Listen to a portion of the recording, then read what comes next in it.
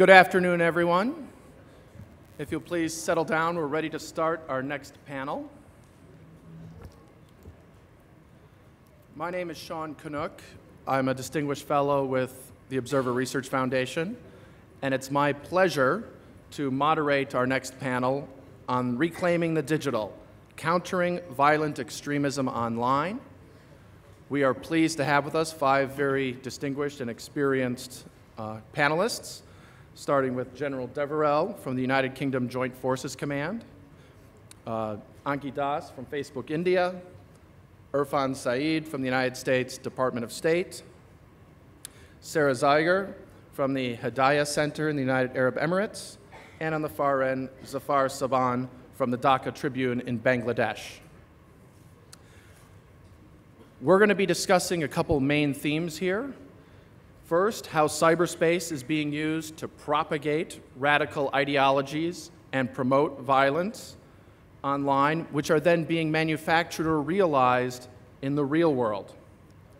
Secondly, we're also going to look at how governments and companies alike are pursuing solutions to this problem, looking at counter speech or legal and regulatory mechanisms to counter violent extremism online, but all the while trying not to compromise privacy and freedom of expression. A tall order, but many successful efforts are underway, and we're going to explore some of those here in our group.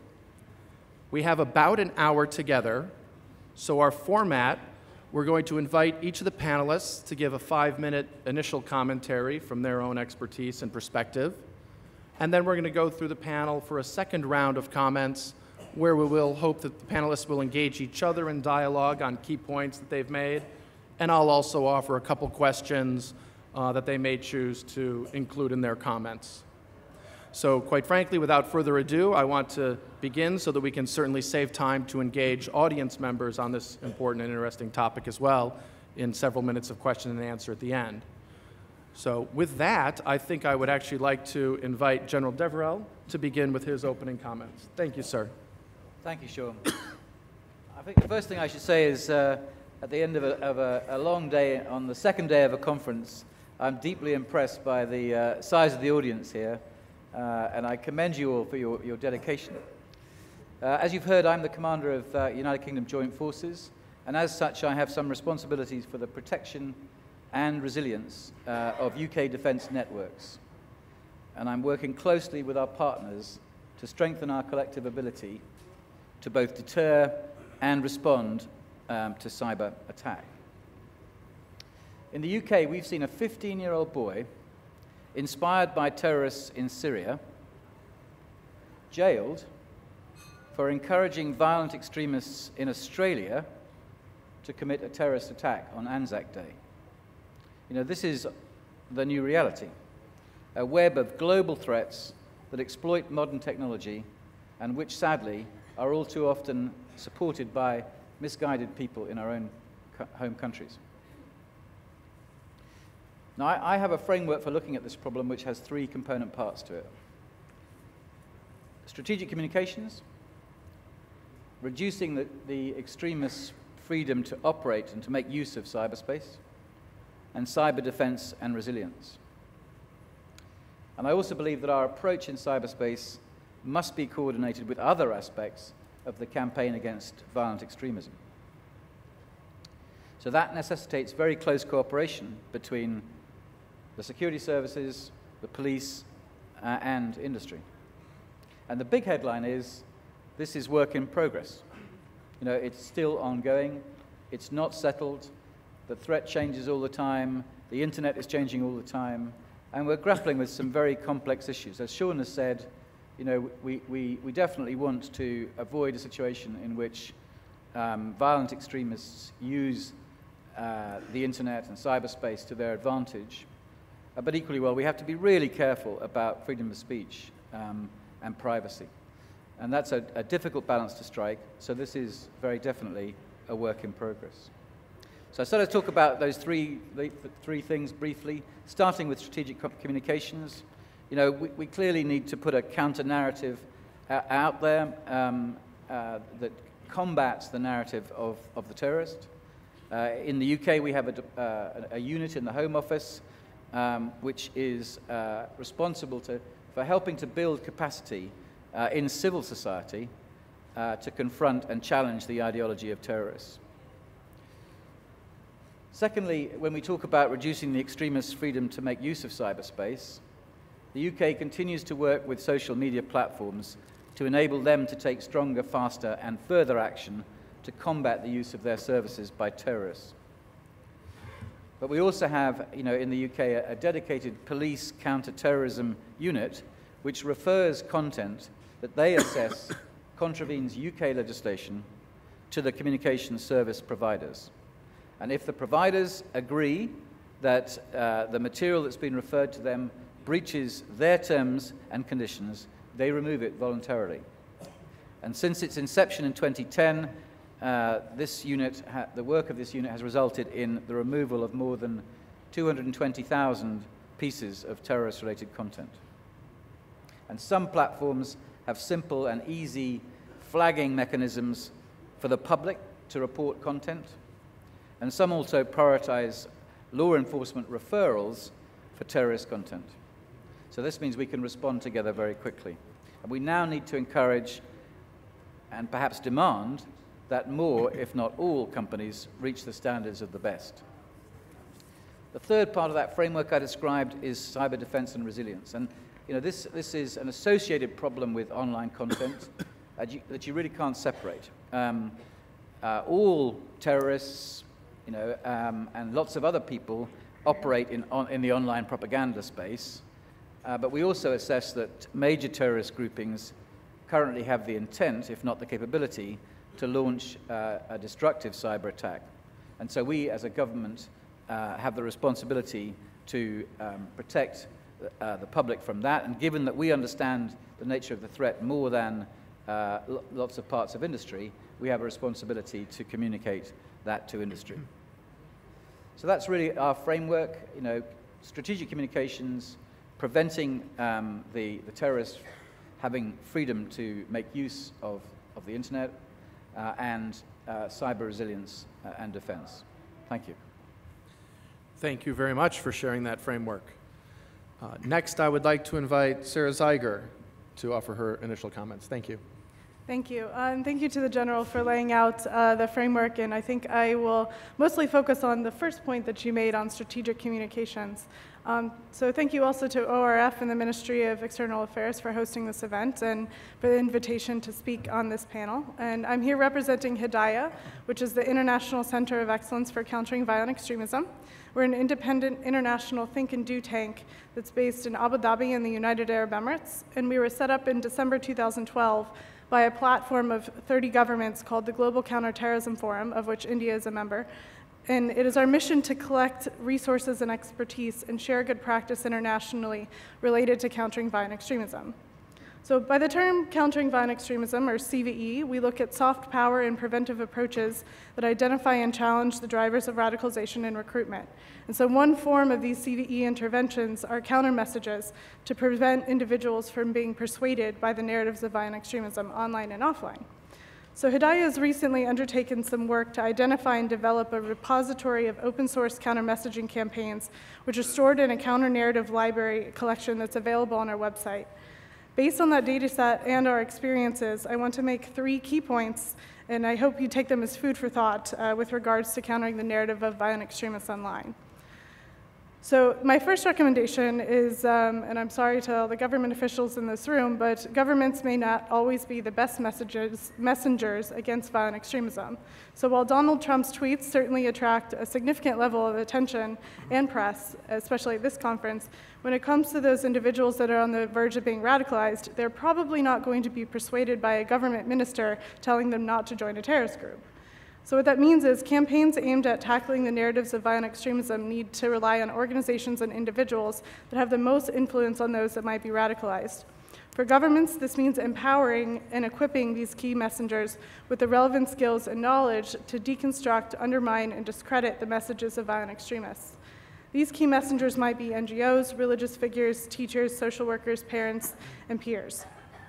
That brings me to my next recommendation. We need to do a better job of using appropriate tools to counter message. The last time I spoke at a major conference about this, I conducted a very non scientific poll of the audience to get a sense of what sort of social and online media platforms the audience was using.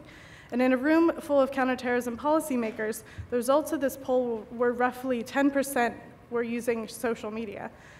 Now, for the sake of time, I'm going to assume that all of you are experts in this room in using social media.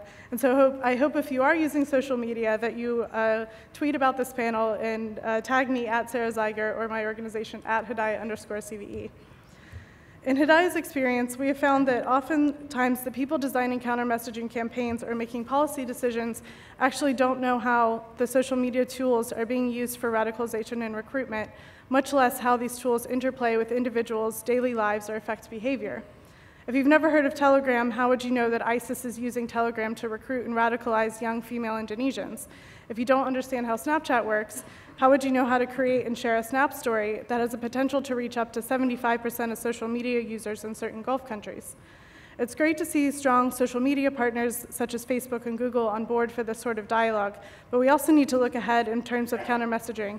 What, are what platforms are terrorists using now to recruit and radicalize, but, and also what will they use next? My third recommendation um, is let's not forget about what happens offline. So online messages are only one step in this process of radicalization and recruitment. Now, to il illustrate this point, and completely unrelated to terrorism, I'm going to give you a story from last night at dinner. For some reason, our dinner table was having a conversation about different kinds of helicopters. And one individual at my table mentioned that there is apparently a helicopter out there that can do a backflip. So within three minutes, we were all passing his phone around the table watching this video of a helicopter doing a backflip. It's real, look it up. My point here is that online content was only one component of that exchange of ideas and debate at dinner last night. In the same way, terrorist messages online are only one component of the radicalization and recruitment process. While the initial contact might be made through a flashy video message or online magazine, terrorist recruiters single out individuals interested in their cause and engage with those individuals on a personal level to further reinforce their ideas. Online content starts or supplements a debate and dialogue, but it's not the end game. So, as a lesson, we should counter message in the same way. We should have relevant online content, but the most flashy videos cannot replace what we, we can also do face to face and peer to peer. Good counter messages to violent extremism create conversations and facilitate dialogue. In that regard, I hope these recommendations are useful, and I look forward to hearing your thoughts and questions. Thank you. Thank you very much. And obviously, your references to social media are quite apposite, and we just happen to have someone from Facebook with us. Uh, can I give the floor to Ankhi Das to share her thoughts? Thank you, Sean. Um, countering violent extremism is a very important priority for Facebook.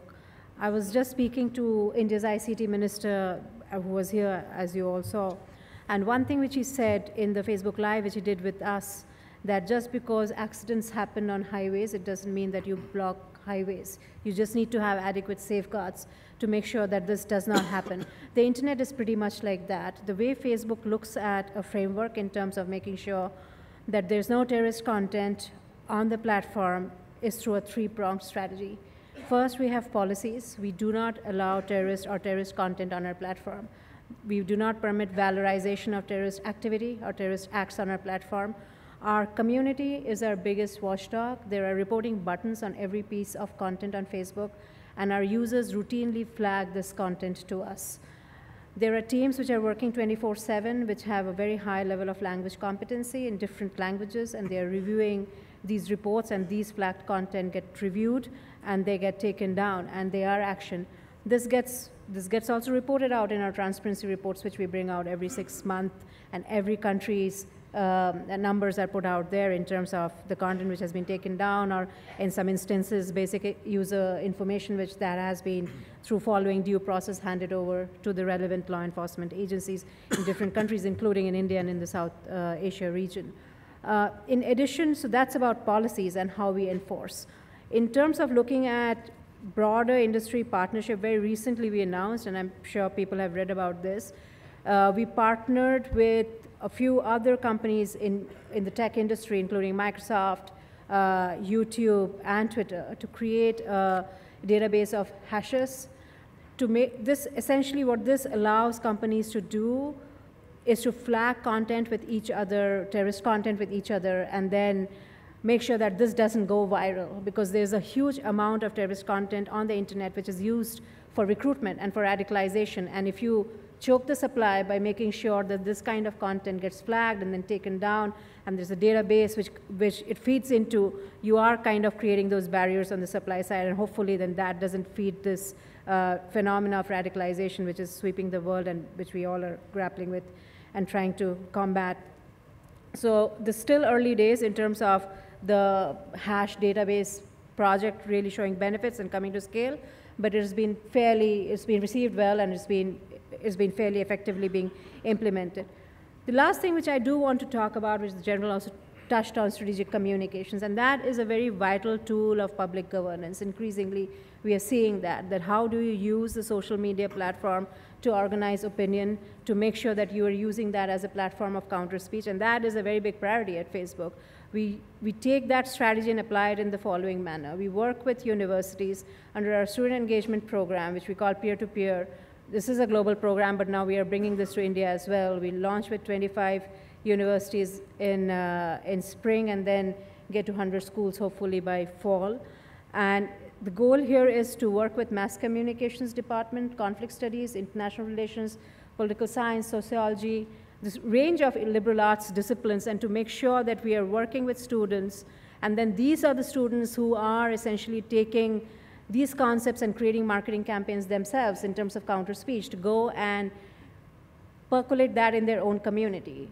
So it's something which their young people are driving themselves rather than somebody else being involved in terms of creating that content because they understand that common language is their peer community they're talking to. And hopefully that particular program will scale and create its own nucleus in terms of energized organizers who will fight this menace of radicalization on the internet and de-recruit people who may be at risk. The other element, and we kind of did this recently um, in the South Asia region in Dhaka, and I have a colleague from Dhaka Tribune here as well, uh, where we partnered with UNDP and FNS Labs to organize these hackathons, where essentially you create this Facebooky environment where you get lots and lots of young people to come and create their own consumer consumer marketing oriented campaigns, which again is a counter speech campaign and which can go viral viral very soon and be a very community-based activation.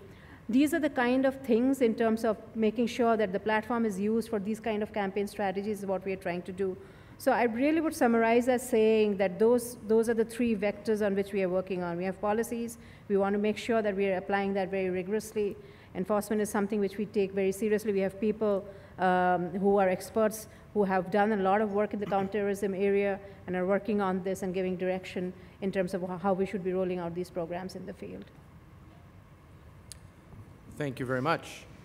Uh, next, I would like to invite Irfan Saeed to talk about this, and he leads the Countering Violent Extremism effort for State Department. Uh, from the diplomatic side, how are you addressing some of those same challenges that Ms. Das has just discussed? Thanks, Sean, and thanks to the organizers for having us here. Um, I want to step back and actually talk about what we mean by CVE online. So I'll take you back to 2014. 2014, uh, in the United States, in a small town outside of Denver, Colorado, we had three young girls, aged 15, 16, and 17, disappear from their homes. Their parents had no idea where they were. They actually went to the police and filed a missing persons report. Where were they? They were found a day later in Germany, at an airport in Germany, trying to get to Syria. Now, luckily, they were found and they were sent back home.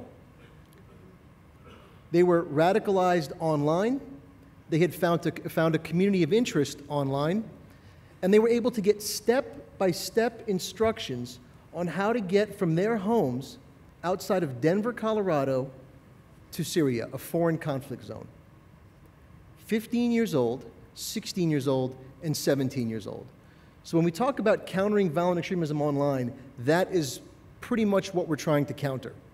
And I think all of my colleagues here gave you three, that's the magic number apparently, three recommendations or issues to talk about. So I will give you my three on what we at the State Department are doing in this space. The first one is we have to understand that countering violent extremism has to be a holistic approach. It cannot be focused solely online Obviously, there's a huge battlefield that's happening in the online space, but if we don't recognize that there has to be more than just looking at the internet as, as, as, as the issue, then we're going to fail. So, to do that, we have to look at five very particular areas. One is research, understanding what those global and localized drivers are. Two is prevention, looking at what the United Nations calls the conditions conducive for these individuals who are being radicalized to violence. The third one is intervention. We have to give opportunities for off ramps to get these kids off of this pathway that they're on, this dangerous pathway. The fourth one is rehabilitation and reintegration. We can't throw everyone in jail all the time, so we have to figure out a way to rehabilitate and then reintegrate some of these kids back into society. And the fifth one is strategic messaging. It's the use of online message, the use of positive narratives to make sure that they don't fall into these traps and can continue on this pathway. So that's part of the first big recommendation. Think more holistically. The second recommendation is, you know, countering terrorist use of the internet does not mean countering the internet. We should not think that the internet is the problem. It's actually a very important part of the solution. And so we've developed a series of guiding principles in this space, and I'll outline a few of those principles here. The first one is to focus our efforts on criminal activity, not just on activity, but criminal activity. And that includes things like recruitment and uh, incitement. Second is engaging the private sector uh, to get on a voluntary and a collaborative basis. And that's why we're so thankful for groups like Facebook for their leadership in this space. Uh, third is you know, sharing all of the online best practices. There's a lot of work that's being done all around the world, and I think the commander talked about some of the great work that's happening in the UK. That should be shared widely. Uh, the fourth one is working creatively with uh, civil society partners, private sector, such as Bollywood and Hollywood. Uh, in the United States, we created a program called Madison Valleywood, bringing together our marketers from Madison Valley, uh, Madison Avenue, I should say, bringing our tech folks from Silicon Valley, and then bringing Hollywood into the mix. So Madison Valley Wood. We need their ideas, we need their uh, uh, distribution mechanisms, we need their energy. And the last one is don't forget about the traditional in person recruitment that Sara had mentioned. Online radicalization is only part of the issue, and if we're only addressing part of the issue, we're not going to have a holistic approach and a holistic response. The final recommendation building partnerships. I think Sara insulted us, but she said something that was pretty right. Governments do not have the greatest credibility in this space. We lack the reach, uh, we lack the resonance. So we have to find partnerships. Um, and I think uh, one of the major partnerships out there is something that uh, I think Ankhi just talked about, which is this peer to peer program. It's called Peer to Peer Challenging Extremism, where they're going into universities. I know my friend Tony Scro is somewhere in the audience here. So, Tony, if you're here, uh, raise your hand. Everyone should find Tony in the back, talk to him about some of the programs that are happening uh, with universities around the world. Uh, it's a great program to get kids talking to other kids. The second partnership is something we're doing with Stanford University, which, as you know, is right around the corner from a lot of Silicon Valley companies. It's getting Stanford and getting kids in those classes to understand what can be done, what type of applications can be developed, what type of IT can be done to get everybody talking so that we can push back on the use of the internet for violent extremist purposes. Thanks. Thank you very much. Our last speaker, Zafar Sobhan, is coming at this issue as a journalist, but one that doesn't focus exclusively or predominantly on it and can probably offer a vantage point that may resonate with a lot of us who aren't experts in this area. To you, sir.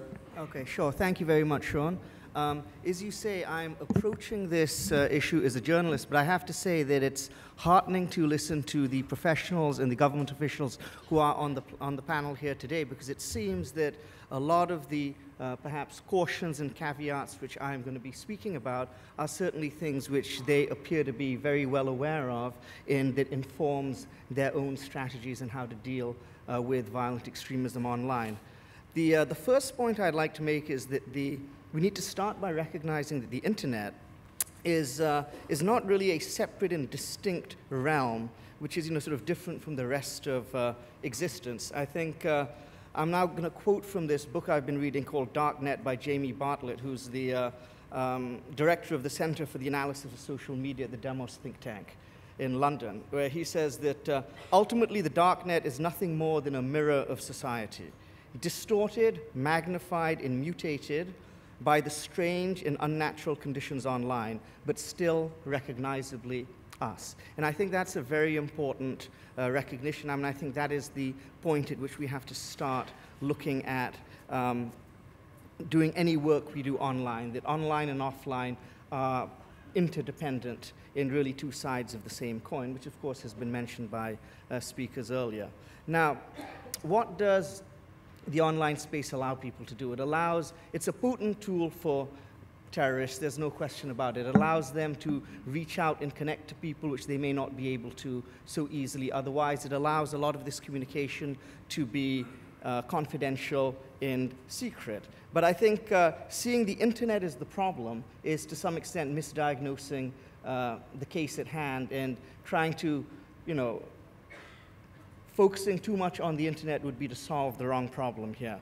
You see, the, uh, there's no tool of the modern day world which cannot be used as a tool of terrorists. If you look at the telephone, if you look at um, airplanes, you look at lorries, what happened in Nice not long ago, uh, if you look at regular mail services. But the question is how many of us would be willing to have our mail opened, every piece of mail opened? How many of us would be willing to have every one of our telephone conversations listened into? Those are the same questions we need to ask when we're talking about. Uh, the internet. I think if that's the price we have to pay to counter violent extremism, you have to ask yourself the question whether that is a uh, acceptable price or not. The second point here is that, of course, in the battle against violent extremism, you know, we're the good guys, they're the bad guys, and I think, you know, we can all agree with that. However, it's not quite that simple. On uh, in a lot of times that uh, uh, the tools of the internet can also be used to fight tyranny. They can be used to fight authoritarianism.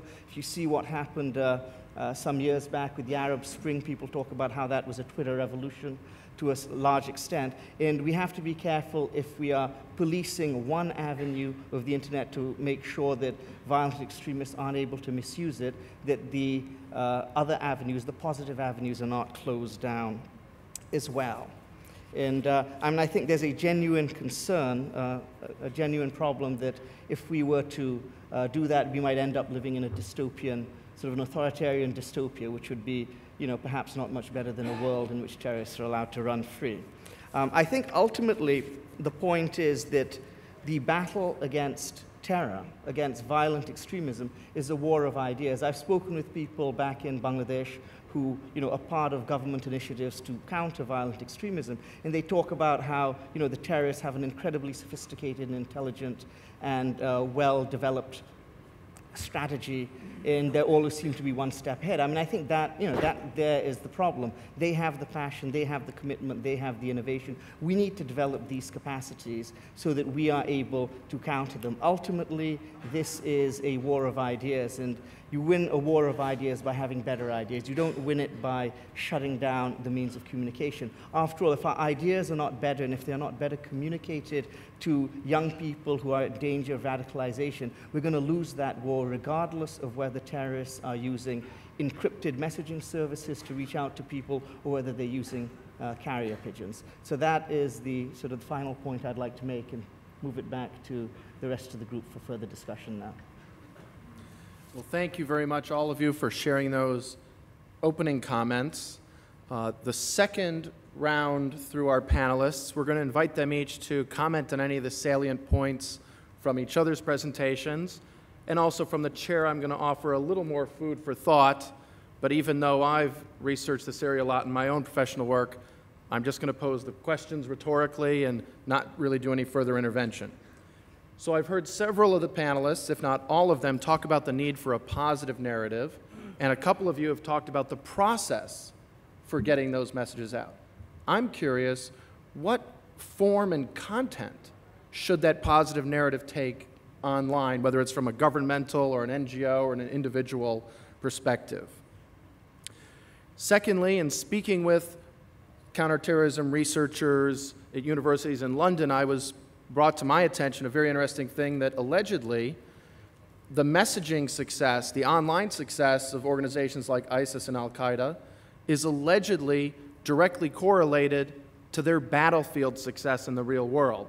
I've been told by other experts that the followers of this messaging ebb and flow to some degree in relation to the territorial area that some of these groups control. So I'd be curious for any thoughts that you may have had from your experiences on that topic. And then lastly, for the technically inclined, what are actually the means that we can use in society to help counter these uh, concerning events online? How can we build the follower base for the credible voices so that they go viral? I know Ankhi talked a little bit about that. I would welcome it from any of your other perspectives. Uh, I'm also curious about uh, some of the initiatives that I've heard in the media talking about filtering fake news or alternate realities. I know companies like Facebook and Twitter have discussed that in the North American political context, but that may also apply to this space as well. And then lastly, how far are we prepared to go in monitoring and censoring online activity, whether by governments or by companies? I want to bring us back to that second large theme that a few of you have hinted at, but please take it head on. Freedom of expression, privacy. What do we stand to lose by trying to achieve this heightened security? And to what extent can we have our cake and eat it too? I'd like to start on my left, and we'll just go in order down the right. Please, sir. Sure. So I think I've been struck, actually, listening to uh, my fellow panelists by the degree of commonality um, in what we've said. It's been very striking. Um, uh, you know, I think that's very encouraging. Um, I'd, say from um, Sara, I picked up um, this idea government not the only messenger or even the best messenger. I completely agree with that. Um, of course, the government does need to communicate its policy um, and its approach, uh, but it, the government is very foolish if it thinks that that's the best way um, uh, to communicate with some of these audiences. Uh, I also agree um, with, with lots of my colleagues on this point about um, the internet being only part of the issue. You know, one, strategy for dealing with the situation online needs to map to one's other strategies for dealing with violent extremism. From Ankhi, I picked up, and I'd like to actually to, tribute, uh, to pay tribute to the work that Facebook is doing in this space, because I think it's acting very responsibly. I, I, I, I love your analogy of the um, accident on the highway, okay? And, and not a good reason to ban highways. I, I totally agree with that. But if you take that analogy further, I think, uh, what have we got on highways to deal with accidents? You know, we have barriers to separate the traffic, we have speed limits, and, uh, you know, as you get smarter in, in the management of that issue, you get variable speed limits. So there are all kinds of ways in which you can make that highway uh, better and reduce the risk of, of accidents without uh, banning highways. And, and, I think that's a very good analogy for, for what we're talking about. Um, from Irfan, I got you know, a really strong point about a whole of society approach. I, I, I totally agree with that too. Um, we, we're not going to, government cannot sit in some ivory tower uh, and prescribe a solution uh, and expect uh, it to, to happen. We have to work together. Civil society, all components of civil society need to work together to address this issue. Um, from Zafar, the, the, kind of war of ideas point, I think, is also very important. Um, you know, government, if it's not careful, can easily take the belief that shouting louder is the answer to, uh, you know, is the way to win a war of ideas. And it's clearly not in the long run. You know, sometimes you can drown out uh, the opposition, uh, the other idea, but not, not fundamentally. Fundamentally, you have to defeat it with a better idea, as he said. And to Sean's point about a correlation potentially between um, the, the battlefield success of, of uh, let's say, Daesh and, and its uh, you know, online attractiveness, um, I know I haven't seen that data. I'd be very interested in it. Um, I, I think it's possible that that is so. Um, but I think it's also possible that by some measures of, of operational success, let's say you, you, you would regard um, possession of territory uh, in Iraq and Syria as a, as a measure of the success of Daesh. Um, you know, I, my observation would be as, as they are um, prized out of control of that territory, my suspicion is that they will want to move more into the online space. Um, and so that they may, you know, it actually may look as if um, they are less operationally successful because they control less territory. Um, but in the end, you know, I think that will force them to up the ante online. That, that's, I mean, that isn't a greatly scientific comment, but it's just an instinct. Thank you. I think there is a common framework which is emerging from the panel, which is one is how do you go and create a grassroots mobilization uh, frame platform. Second, uh, in terms of shaping positive narrative, particularly in our region, it needs to be highly context specific, it needs to be highly language specific, and there are celebratory models which one can derive from in terms of looking at what are the factors which have prevented radicalization in highly diverse societies and regions like India is, and the South Asia region also to a great extent is, and sort of highlight some of the positive factors there, which is in situ in our, in our own environment. Um, so the cultural, the cultural motives are very important over here. For example, the Sufi culture, how that can be a binding force in terms of presenting an alternative model. Also, you know, you talked about you talked about what are the different kinds of uh, speech which go viral or are more effective. Um, I was recently made aware of this um, uh, movie by the BBC, which went viral and got more than 27 million views on Facebook, The Real Housewives of ISIS.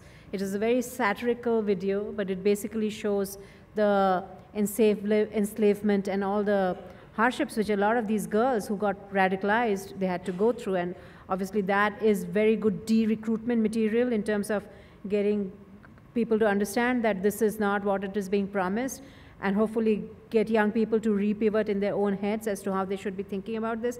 But I really think like government involvement in a lot of this is going to be the kiss of death because people are going to see this again as a reinforcement of a paternal state. Any grassroots mobilization, the state is not definitely a, the lead, should not be a lead actor, should be a facilitator. It should be an engager. It should definitely be part of the dialogue, but the grassroots momentum has to be really built by the community. Luckily, today, we have tools which can be utilized, and you've heard a range of examples of that from the panel. There's also a very important role which the media has to play, like the BBC clearly has done in terms of creating this material, right? And also, some of us who are here in this region, we are blessed with uh, uh, the Hollywood equivalent, which is Bollywood, right, which have enormous convening power. And there is star power, which a lot of these people have, and they can lend their voices to this. It's similar to what you would do for any public interest campaign, where you try and explain this and use the motive of art, culture, literature to get more public intellectuals involvement, to get this back to our schools and to our university system and get young people to engage with it. That, I think, is going to lead to a huge amount of local involvement and creation of models. The last part really, and I think, um, I think somebody touched on this on this panel, is the scope of research. So what we did at Facebook um, a few, few months back, we worked with a UK-based think tank called Demos and had a research study where we kind of tried to analyze that what are the types of speech on Facebook, which leads to this develop further leads to this development of a counter speech model. We're now trying to see that was largely in an Anglo-Saxon environment in the developed world, etc. Our reality is a little different in this region. So what we are trying to do is that we're trying to commission a research here in India to try and understand both the diversity as to what does it take to design a good counter speech model, what are the ingredients of that, and then surface some of that knowledge as a knowledge commons to the wider set of people here, to the university system over here. And that hopefully will allow people to self-teach themselves as to this is how they need to engage using these new tools. Thank you very much. Irfan? Yeah, thanks, Sean. I'll talk to the, um, the first question you asked uh, related to strategic messaging because I think it's a, um, it's, it's a theme that's run throughout a lot of our discussion points here today. Uh, I think, Zafar, you talked about this idea of, you know, we need better ideas. Um, I agree with you 100%, but I would add we need better marketing too. Uh, because Daesh and groups like Daesh, they have bad ideas, but much better marketing than we do.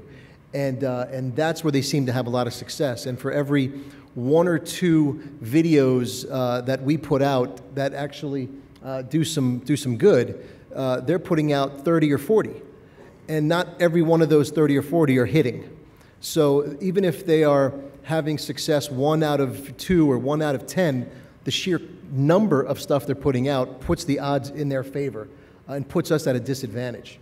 Um, when it comes to strategic messaging, I think we have to understand uh, a couple of things. Number one, it's not about going to the clerics only. We can't just have the clerics as the messengers in this space.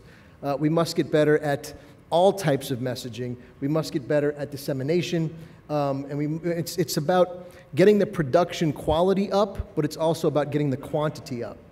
Uh, we need stories of, uh, of formers. Uh, there's a lot of people that have tried to go over. There's a lot of people that uh, have been radicalized to violence that have been uh, disenchanted, uh, have been fed up, and have returned, and have turned away from this type of rhetoric. We need their stories. We need to capture their stories and tell it in a way that's, that's um, sustainable and that it's digestible by kids that age. and the third thing I would say is uh, something I said earlier, it's not about content all the time, it's about dissemination. Uh, it's about getting an online plan in place that addresses the fact that the average life cycle of a YouTube video um, is just a few minutes. And every kid, when they look at a YouTube video, they average about seven to eight seconds so we have about seven to eight seconds to make an impact on this person. So if we just make one or two videos, or if we work with partners to make one or two videos and back away and put it on YouTube and hope for the best, we're going to fail every time.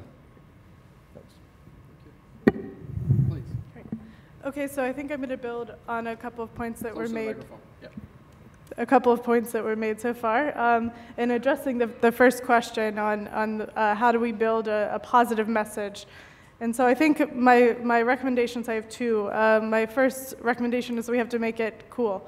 And so how do we do that? I think this is where these um, programs such as uh, the work that Facebook's doing on the peer-to-peer -peer messaging is so important, that we need to build the capacity and, and the, the content creation from youth themselves. And I'm happy to also say that Hedayah is partnering with Facebook in the Middle East uh, to do sort of this peer-to-peer -peer work in uh, Kuwait, UAE, and Saudi Arabia. And then my second recommendation or point is that I think that these, these alternative messages need to address the actual grievances that violent extremists are pointing out in their recruitment narrative. So we call these kind of the push and pull factors that, that lead to radicalization and recruitment. So the reasons why people are actually joining.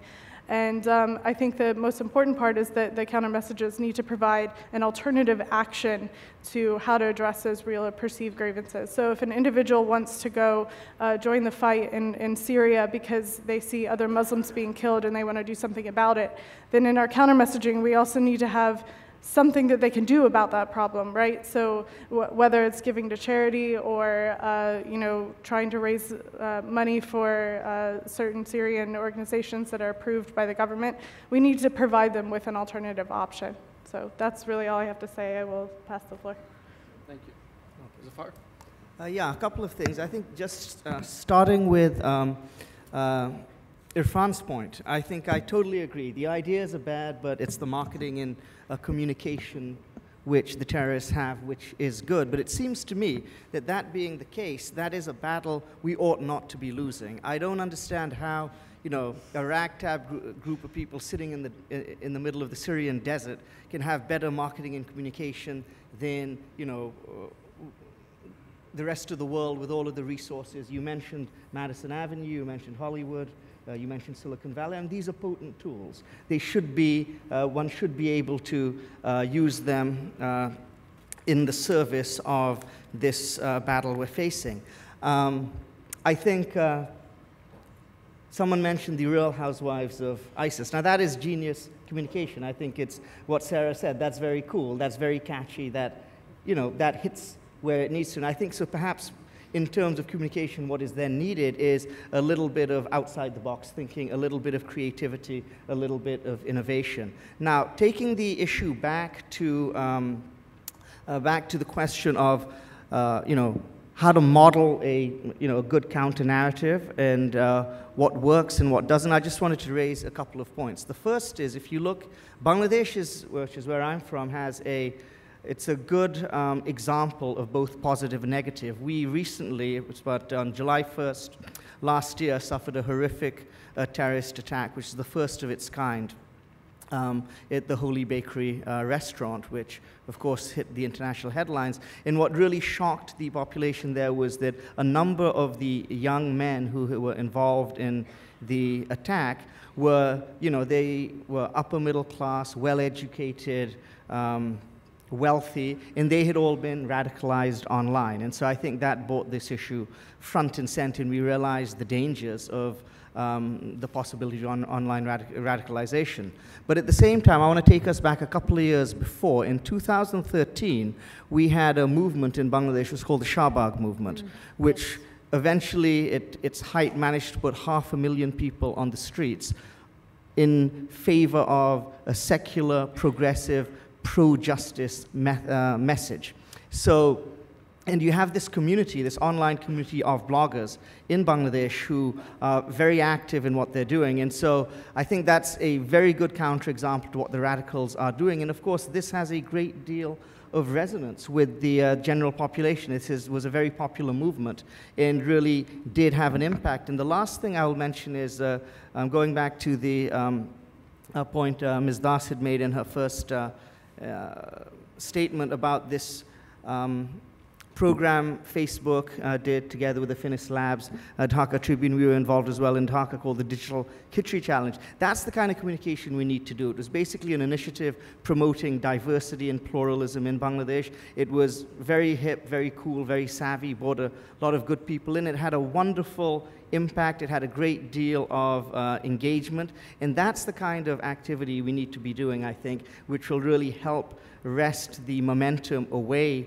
from those who propagate violent extremism and towards uh, the rest of us in society. Thanks. Thank you very much.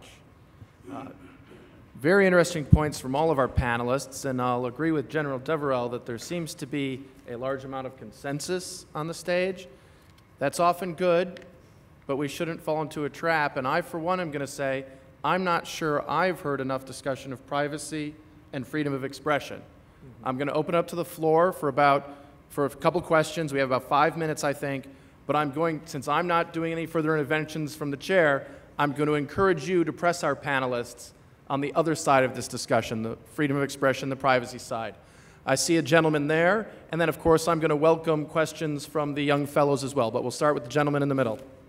Uh, uh, how we can handle ideology which is based on uh, suicide bombers, jihad, virgin in paradise, madrasas, and state-sponsored terrorism. Thank you very much. I'd like to go to the far mic back there, please. Ma'am? Uh, hi, I'm Meenakshi from Center for Land Warfare Studies. My question is for Ms. Das and Ms. Zeiger. Uh, so the reality online is that we uh, operate in silos. It's not like we uh, are open to ideas. If I am a liberal, my news feed will, will be full of liberal ideas and uh, you know so on and so forth. So given this uh, stratified reality online, how do you propose that this content that you're creating creating will be disseminated also, we need to keep in mind that we have a diverse audience. So there are uh, staunch radicals, and then there are those people who have an impressionable mind. So I would also want to hear your thoughts on uh, the reality of a, a, diverse audience and how we need to have policies accordingly. Thank you. Uh, over, is that lady standing? Have a question, please? From Observer Research Foundation. Uh, there is a panelist from Bangladesh, but this is open to everybody. Uh, when it comes to cyber, uh, everybody is talking about online uh, radicalization, but I give you a scenario. Back again to Bangladesh, on uh, they were during the Diwali time in October, there was a attack on the minorities, and when it went, and it was found because it was done because of a fictitious Facebook post. So here, the, uh, and when the, the person was put under arrest, uh, and then there was attack on minorities because it was said that the posting really hurt the religious sentiment of the people. But my question is, when the person was uh, questioned and all, it was found he, he, really had no idea how to operate a Facebook account, but somehow he had and his thing was hacked. So I wanted to know what, in such scenario, how the people can really react and the companies, especially what kind of uh, checks and balances you put on on the verifying identity of the people, what kind of posts they do. I think this is very important on the South Asian context, at least the cases we have seen in Bangladesh and in this region. Thank you. Thank you. I see four more individuals standing. I'm going to take all your questions, but ask you to keep them very specific, and then we are going to let each of the panelists respond uh, to what questions they may feel to. So I see a gentleman in the back, then we're going to go to the lady, and then the two gentlemen who are standing in front. Sir in the back. Yeah. I have a question for Ms. Das. Uh, so just taking from a practical instance, so I run an uh, on-ground reporting channel. So we posted a content which was to do with atrocities in Balochistan. Hmm. And then we boosted that content to a Pakistani audience. So the audience was not engaged, but they reported the content as abusive. So my question is when Facebook, uh, for instance, uh, with respect to its policy about the abusive content, how do you differentiate between a content which is uh, uh, some, uh, where a segment of the population is in disagreement to it and reports it as abusive compared to say an actual terrorist content which you put or something which can really influence an individual towards uh picking up violence. Thank you. All right, thank you. Ma'am? Uh, good evening, sir. I'm Kriti Singh. I'm a doctorate scholar working on media-military relationship and assistant professor in Department of Communication. My question is, in one of the papers written by Lieutenant Colonel Pat Proctor, he, spoke, he speaks about media as battle space, fifth dimension in information operations. Media and extension, its social media is a big challenge as we agreed with terms of radicalization. My question is how UK military or defense organizations are dealing in this media battle space and what kind of strategic communication and media tools they are using. I would appreciate if you can give me some examples. Thank you. Thank you. Yeah, Gentlemen? I'm Sanjeev Tripathi. I am a retired civil servant with intelligence background. Uh, all the panelists are unanimous that uh, the war against jihadi terrorism has to be fought at ideological level as well. Of course, uh, Zafar has mentioned uh, that it's basically a war of ideas. And uh, General has also mentioned about counter narratives. Sara has said that uh, the government is not the right messenger, uh, not the best messenger, I will say it's not the right messenger. Now, my question to all the panelists is that war of ideas, certainly it is the war of ideas, but is it, it is the war of ideas within the Islamic community. Any outside, it is for the Islamic community to decide Islam stands for what. Whether it, stand, it stands uh, for what the jihadis are saying or whether it is religion of peace. So basically, it is the moderates or religious leaders within the Islamic community who have to counter the jihadi propaganda because the jihadis are quoting verses from holy scripts to justify their action. So somebody has to give counter narrative, and this counter narrative has to come from within the moderate Islam, so Islamic uh, scholars. So I would like to have your views on that. Thank you. And last question, and then we'll give each of our respondents about one minute to give, respond to the questions asked them. Please, sir. I'm Emil Kumar, former police officer, presently with ORF. Uh, Islamic State brings out online propaganda magazine, Dabiq. I think this might have been read by many people. Hmm. Number of issues have been brought out. I don't think any other country has countered this magazine because it's hate-filled and it how actually attracts people. I think one should go through this magazine, then only one will have an idea how this glossy magazine is prepared. It cannot be work of one or two persons. It, this magazine, I think, must have been prepared by a number of people. I yet to see whether any such magazine is brought out by UK, UAE, or any other Islamic uh, Muslim country or other countries. Thank you very much. All right. Thank you for those comments and questions. Uh, Zafar, can we start at your end and okay. work back?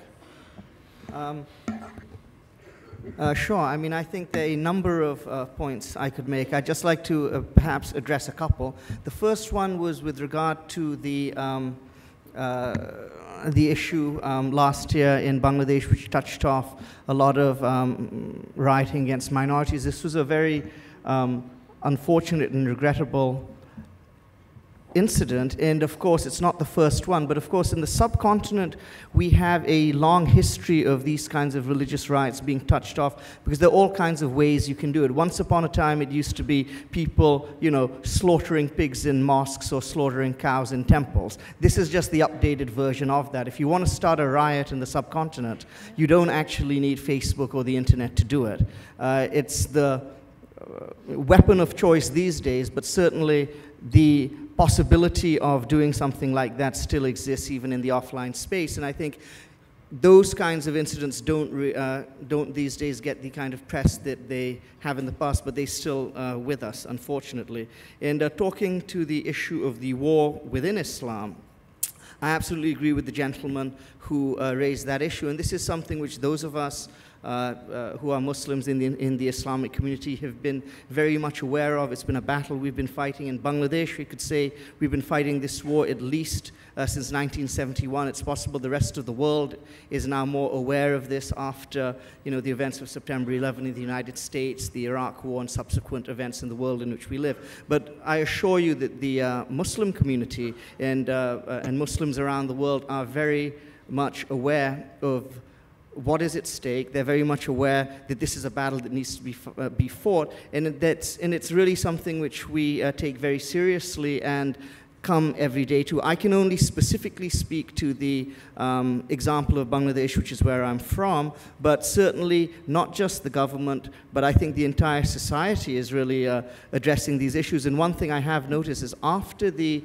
um, atrocity on um, July 1st last year, there was a massive backlash because I think that did engender a lot of revulsion against the, uh, the terrorists, against uh, this kind of violent Islamism which people felt went against their religious beliefs. So I think at this point, uh, I won't say go as far as to say we're winning the war, but the war is certainly being uh, fought on all fronts. Thank you. Sara, please. Sure. Um, okay, so I'll address the question on dissemination. I think that's a really good question. It's something that I've been actually grappling with myself um, because this idea that social media is actually reinfor- self-reinforcing. We get to filter out um, the ideas that we that we disagree with. Um, so I think that the way the way that we can yeah. better counter message is uh, this requires messengers that are credible in that space and on an individual level. So it really does require individuals to kind of enter that discussion yeah. and that debate and then share that content in that way. Um, just broad-based dissemination may not work in that case. And then just the question on, uh, I guess, ideology and, and religious scholars. I think re religious scholars are certainly one actor, and, and I'm not an Islamic scholar myself, but I've been told by, in sitting with a lot of religious leaders, that any mainstream Islamic scholar can actually very quickly dismantle the ideological arguments behind uh, for example. So I think in, in this sense, it's actually, we're, we're lacking a better promotion of those uh, dismantling of those ideological arguments. The arguments are already out there, but we need to promote them better. Thanks. Um, yeah, regarding this idea, the question about the, the ideology, I mean, I agree with everything uh, Sara and Zafar said. Uh, you know, that's a difficult space for governments to be in. In fact, we should not be in that space to talk about certain ideologies. So our response has been to really work with communities to get their messaging. I think what Sara just talked about is to get their ideas out. Uh, the United States put out a uh, CVE strategy a few years ago, and the title of it uh, signifies exactly what we're trying to do. The title of it is Empowering Local Partners to Prevent Violent Extremism in the United States. And that's what we must do in that space. I'll address your question of the privacy and freedom of expression issue because uh, that's very important. One of the things that I talked about in the guiding principles is this respect for civil rights and civil liberties. And in fact, the research has shown that there is a direct correlation in most parts of the world where you have a decrease in the protection of civil rights, you will see an increase in violent extremism. So uh, that is absolutely essential as we move forward in this space. Uh, and finally, this question of Dabiq magazine, we absolutely agree that there is nothing that competes. It is a very well done uh, uh, magazine that gives you step by step instructions on how to kill, maim, and destroy. And that's why we're up here to try and extol the virtues of getting other people involved in this space because we are obviously not coming up with that particular response. Thank you.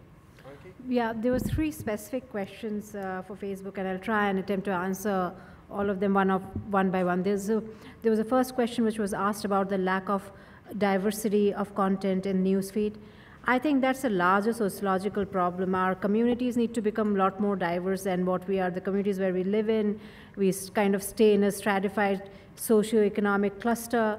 We will be, and then because our real life gets replicated online, the kind of friends which you will have on Facebook uh, and their friends, the kind of news feed you will get because of the kind of content which they share or they post, there is going to be a certain kind of a linear affinity in that, in that.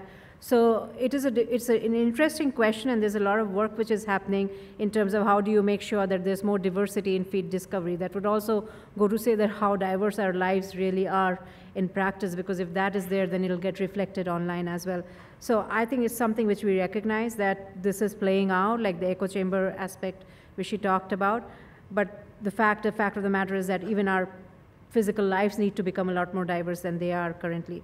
The second point, which was raised by the ORF researcher over here about Bangladesh, and I think the question was really about how do we how do we take our enforcement action on reported content, particularly when they are the type of uh, hate speech generating uh, content which she flagged. The two ways in which this gets reported for Facebook to take action on. One is user-generated reports.